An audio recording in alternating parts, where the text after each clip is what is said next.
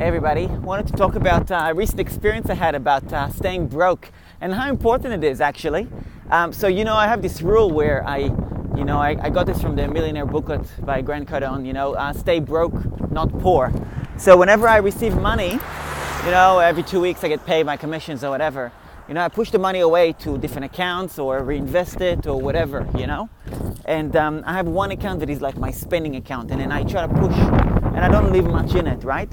And this time I kind of messed it up. I actually left a little bit in it, you know, uh, more than I, more than I usually would.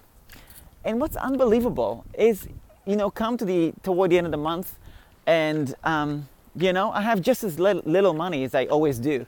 Um, coming toward the end of the month, you know, and I've had probably like two really unnecessary expenses that happened, which I didn't I didn't plan on. One of them was so stupid. It was just like, oh my god, I can't believe this actually just happened. So uh, stay broke, people. Okay.